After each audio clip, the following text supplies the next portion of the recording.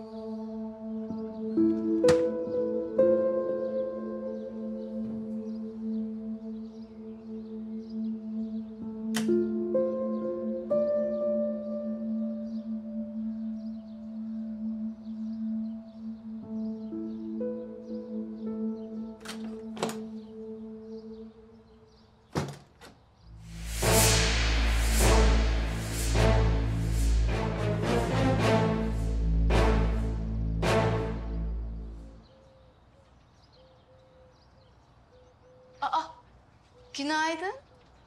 Erkencisiniz bu sabah. Ya uyku tutmadı. Ben de biraz bahçeyle uğraşayım dedim. İyi misiniz? Hay aklım dün gece sizde kaldı da benim. Dün gece bir şey yaşanmadı burada Fatma. Hadi sakın ağzımdan kaçırayım deme. Timur Bey'in kulağına gitmesin. Tamam tamam yani zaten benden laf çıkmaz. Hayır e, Allah'tan Nesibe abla falan yoktu. İşte bir ben bir de Adem Bey o kadar. Hiç merak etmeyin siz. Tamam hadi sağ ol.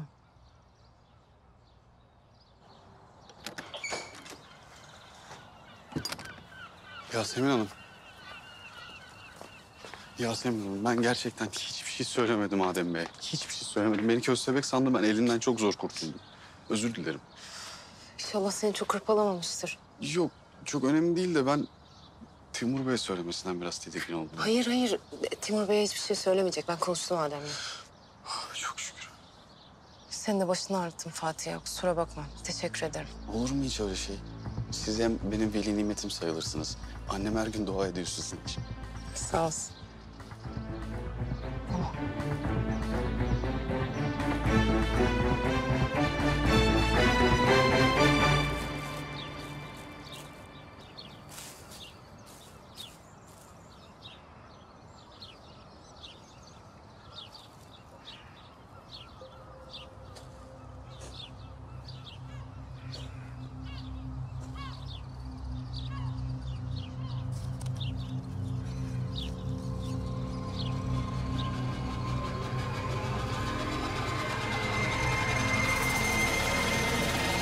Bahçıvanınız yok mu?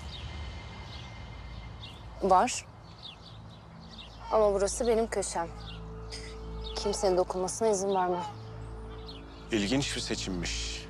Niyeymiş o? Bu çiçekler güneş ister. Yani buraya gölge çiçeği ekmeniz lazım. Bak sen. Çiçeklerden de anlarmış. Yani pek anlamam ama belli ki siz benden daha az anlıyorsunuz. Sabah sabah buraya bana bahçıvanlık dersi vermeye mi geldin sen? Sorularıma cevap verecek kadar dinlenmişsinizdir umarım.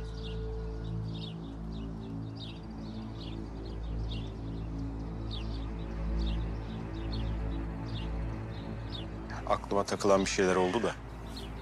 Mesela? Mesela pasaportunuz.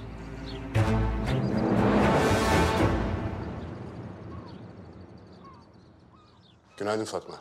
Ha, günaydın Timur Bey. Yasemin Hanım nerede? Ee, dışarıda bahçeyle uğraşacağını söylemişti.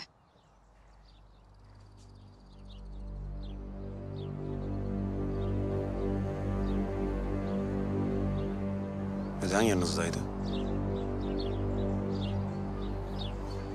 Pazarlık kötü giderse bir yere kaçarım diye düşündüm. Ama gözünden de bir şey kaçmıyor bakıyorum. Vizelerimi de kontrol ettin mi bari? Edemedim. Cebinizdeydi. Tüh. Peki bu adamlar kaç kişilerdi? Tipleri nasıldı? Teşhis edebilir misiniz? Üç kişilerdi. Beni alan adam, kapıda duran kişi bir de benimle konuşan adam. Patronları galiba ama neye benzediklerini pek göremedim. Kar maskeleri vardı. Nasıl geçti? Mücevherlerimi vermeyi teklif ettim ama kabul etmediler. 10 milyon dolar için ısrar ediyorlar. Ben de Timur'u ikna etmek için biraz daha vakit istedim ama nasıl ikna edeceğimi bilmiyorum.